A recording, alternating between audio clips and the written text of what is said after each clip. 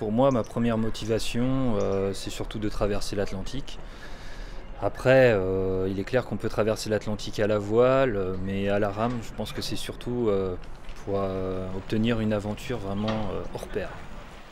Déjà en 2009, euh, j'ai voulu la faire. Bon, j'ai eu un, un petit problème professionnel, donc j'ai suivi Patrick Oyo.